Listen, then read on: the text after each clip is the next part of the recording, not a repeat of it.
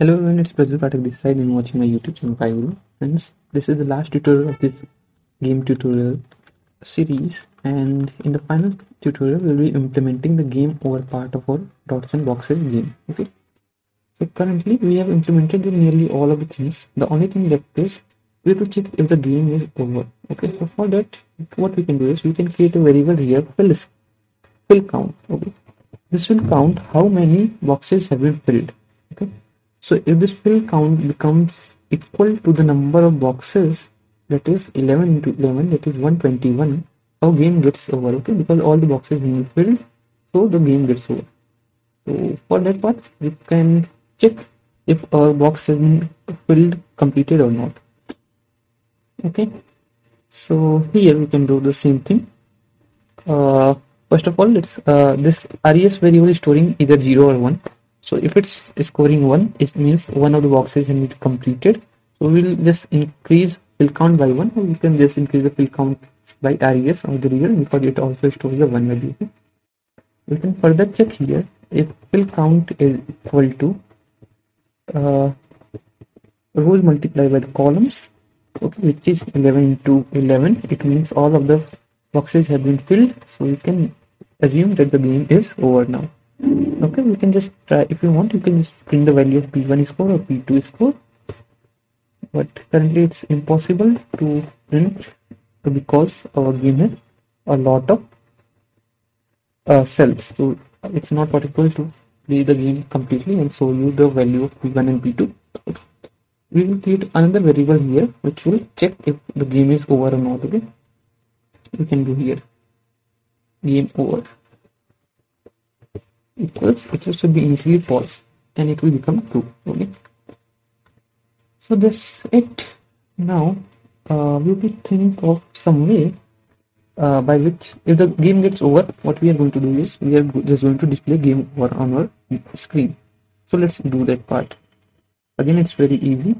We will check if game is over. Then what we'll do is we will create few things. First of all let's create a rectangle.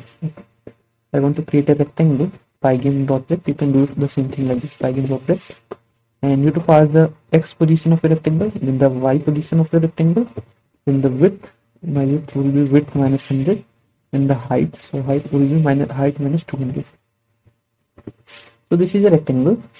Then i'm just going to draw it on my screen pygame dot draw dot rect. And then you have to pass the window where you want to do it then the color. Then you have to pass the uh, rectangle itself so you are just going to pass the rect here. Then I want to draw outline of this thing. We are creating a rectangle and then I want to draw its border. So for border I will just change the color so it will become red here okay? And then I'm just going to pass thickness of the rectangle to here. So let's just try to make our game variable game over variable true initially it's false. So if it's true then what will happen is a box will be shown on the top of like this okay? So a box is being shown. Here we can write uh, game over and then press escape to quit or press escape to quit or press R to restart the game okay? Like this. So we are just going to do the same thing. And again uh, let's just display the game over currently. So over equals font dot render. Again it's simply an image or you can say simply a text that you want to display. Here you can just type game over. Like this and then you have to pass true here for anti-aliasing. Then the color of your text I want to make it white. Then I want to display it on the screen. So win dot the image and the position. So my position will be rect dot center x minus over dot get width by 2 basically this will just uh, align it to the center of our small rectangle that have created. If I just run this, this will just uh, type game over in the center. Okay. Basically, if you want to align some center, align some text to the center, you just take that image, take its width, and subtract divide it by two, and subtract it from the entire width. Okay, that's all. And the next thing is I want to show which player is the winner you can do it like this. Winner equals 1 if P1 score is greater than P2 score like this. If P1 is score is greater than P2 score then winner is the first player else the winner is the second player. Okay? It's simple if else written in this one line then we can create another image. Winner img equals one dot render. And here we are going to pass which player is the winner. So we are just going to use a f string here. And here we can type player and winner. And you can type one here. Either one or two will win this game. So two and then the color like this and then we can just display this thing on the screen. So win dot blit and uh, we can do it like this. Winner img and we have to pass the x and y positions. For x and y let me just copy this line. Copy and paste it here. Table dot center x instead of over dot get width we have to type here winner img dot get width y2 and leg dot y plus 10 instead we can going to set so it at the center. Rect dot center y minus 10 so it will display either 1 or 2 okay? So player 2 1 basically it's because of this if condition. Initially the value of both players is 0 and 0 so it's checking this condition. Since this condition is false that's why player 2 become the winner okay? If you want you can write a full if else condition like if uh, P1 score is greater than P2 then if winner is 1 otherwise winner is 2 both are same. Both scores are same. Then there's a draw. You can do the same thing but I'm not going to do it okay? And then finally we are just going to uh, write a message here. Press. And we are going to type press R for restart okay? And Q for quit. We are going to display this message on our screen so that player can know what next they have to do. So we can create another image folder. So font dot render. And here we are going to pass the message that we have written. And then the two. And then the color here red. Okay. Finally we are just going to display it on our screen. So let's just copy this line. Press it here. So instead of winner dot i winner underscore img we are going to make it mg img here also mg img and got by 2 and then finally we to um, instead of subtracting the plus 10 we are just going to add 20 to the center. Okay so this would do the job. Hit press R to restart going to quit it was good now uh, we, though we have written press R to start we have not implemented that part. So let's do that. Again it's very easy. We are just going to check if R is being placed inside the event terminal part. Okay uh, you can also further check uh, we only want this keys to work when the game is not over. We can put a if condition here. If not game over then only these keys presses should be taken in consideration. Once the game gets over uh, pressing these keys should be of no use okay? So let's try this if condition here. Further we can type if event dot key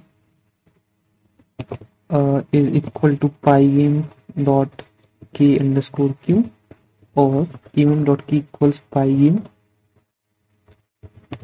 uh, dot k underscore escape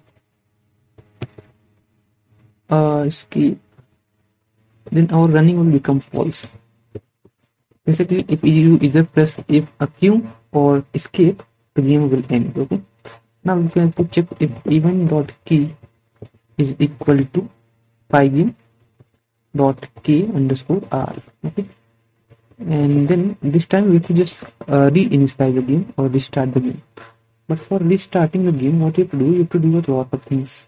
You have to copy these things and paste it here okay? If you just do this the game will get completed. But i don't want to do it like this okay basically this will what we are doing we are just copy pasting the code or we are uh, making duplicate code. So I don't want to do this. So what I will do is I will just put all these things inside a function. So this function will be def create cells and this will return a dictionary sorry a list okay like this. So we can just call this function to create a uh, thing like this okay populate the cells. Then we are going to create another function def reset cells. And then we can just copy all of these things put it inside it. We can just call these functions. Uh, this time what we have to do is we have to just return these values. So return position return c cell up right bottom and left that's it. Now we are going to create another function in the uh, reset score like this. And we are just going to put the rest of the things inside it. Uh, we want these things. So let me just cut these things and paste it here. Okay.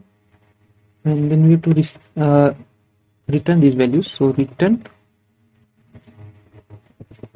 will count p1 score and p2 score.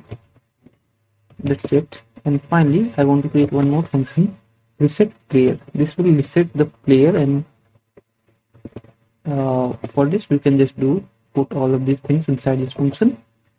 So all of our code is now inside functions. So we can just call these functions in order to replay our game. So return turn players and then clear the next turn okay so it's, it's good now. And we have to just call the functions now. So let's just call it here. Cells equals uh, create cell function. This is it. Now this should be uh, equal to here what is your function name reset cells. Let's just call it like this reset cells. And then this should be equal to reset score. And finally the last line this should be equal to reset player